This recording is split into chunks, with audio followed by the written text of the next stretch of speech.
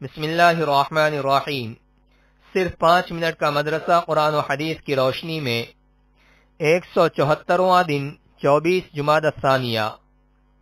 Number ایک، اسلامی تاریخ۔ رسول اللہ صلی اللہ علیہ وسلم کی تجہیز و تکفین۔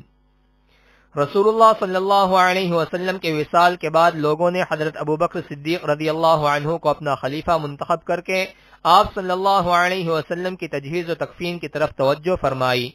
حضرت علی اور حضرت عباس رضی اللہ عنہما وغیرہ نے غسل دے کر آپ صلی اللہ علیہ وسلم کے جسد مبارک کو حجر عائشہ میں رکھ دیا۔ پھر لوگ باری باری آ کر نماز جنازہ ادا کرتے رہے۔ پہلے آپ صلی اللہ علیہ وسلم کے خاندان بنو ہاشم نے، پھر مہاجرین و انصار اور دیگر حضرات نے نماز جنازہ ادا کی۔ تیرہ ربیع الاول منگل کے دن الگ الگ نماز جنازہ پڑھی گئی۔ تدفین کے بارے میں صحابہ رضی اللہ عنہم کا مشورہ ہوا۔ صدیق اکبر رضی اللہ عنہ نے حضور صلی اللہ علیہ وسلم کا فرمان سنایا۔ انبیاء اسی جگہ دفن ہوتے ہیں جہاں ان کی روح قبض ہوتی ہے۔ یہ سن کر صحابہ کرام نے بے اتفاق رائے حجر مبارک میں قبر تیار کی اور بدھ کی رات میں آپ صلی اللہ علیہ وسلم کی تدفین عمل میں آئی۔ اسی حجر عائشہ کو روزت النبی صلی اللہ علیہ وسلم کہتے ہیں۔ نمبر دو، حضور صلی اللہ علیہ وسلم کا معجزہ۔ فرشتوں کی مدد۔ حضرت ابو طلحہ رضی اللہ عنہ فرماتے ہیں کہ ہم ایک غزوے میں رسول اللہ صلی اللہ علیہ وسلم کے ساتھ تھے۔ جب کفار سے مٹبیڑ ہوئی تو میں نے رسول اللہ صلی اللہ علیہ وسلم کو یہ دعا کرتے ہوئے سنا، یا مالک یوم الدین، ایاک نعبد و ایاک نستعین اس کے بعد دیکھا کہ فرشتوں نے کفار کو آگے پیچھے سے مارنا شروع کیا اور ایک ایک کر کے بہت سے کفار زمین پر گر پڑے۔ نمبر تین، ایک فرض کے بارے میں۔ اولاد کی وراثت میں ماں باپ کا حصہ۔ قرآن میں اللہ تعالی فرماتا ہے، ماں باپ میں سے ہر ایک کے لیے میت کے چھوڑے ہوئے مال میں چھٹا حصہ ہے، اگر میت کے لیے کوئی اولاد ہو۔ فائدہ، اگر کسی کا انتقال ہو جائے اور اس کے ورثہ میں ماں باپ اور اولاد ہیں، تو ماں باپ میں سے ہر ایک کو الگ الگ چھٹا حصہ دینا فرض ہے۔ نمبر چار، ایک سنت کے بارے میں۔ اللہ تعالی کی محبت حاصل کرنے کی دعا۔ رسول اللہ صلی اللہ علیہ وسلم اپنی دعاؤں میں خاص طور پر یہ چیز مانگا کرتے تھے، اللہم رزقنی حبک وحب من ينفعنی حبه عندك اللہم ما رزقتنی مما احب فجعله قوة لی فيما تحب، اللہم وما زویت عنی مما احب فجعله فراغا لی فيما تحب. ترجمہ، اے اللہ، آپ مجھے اپنی محبت اور ان لوگوں کی محبت عطا فرمائیے جن کی محبت آپ کے نزدیک میرے لیے نفع بخش ہے۔ اے اللہ، میری چاہت اور رغبت کی جو چیزیں آپ نے عطا کی ہیں، ان سے آپ اپنے محبوب کاموں میں تقویت پہنچائیے۔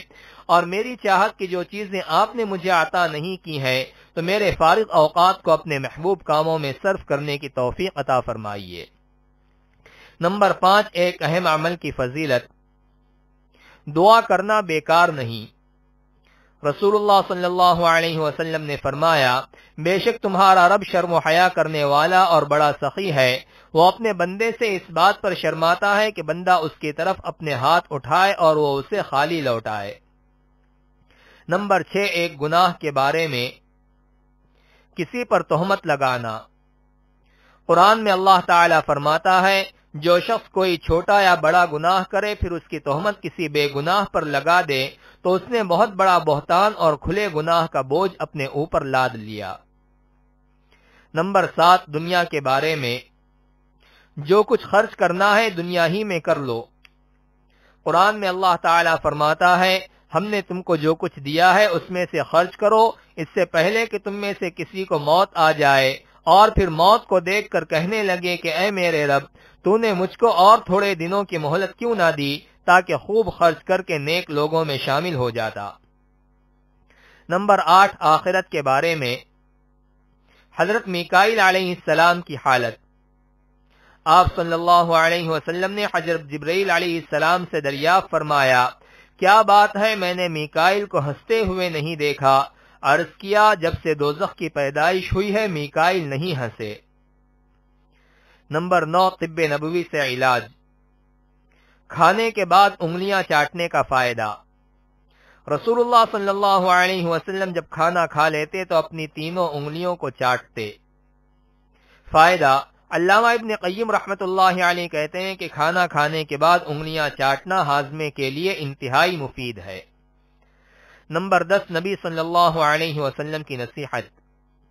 رسول اللہ صلی اللہ علیہ وسلم نے فرمایا مریضوں کی عیادت کرو اور جنازے کے پیچھے چلو، یہ تم کو آخرت کی یاد دلائے گا۔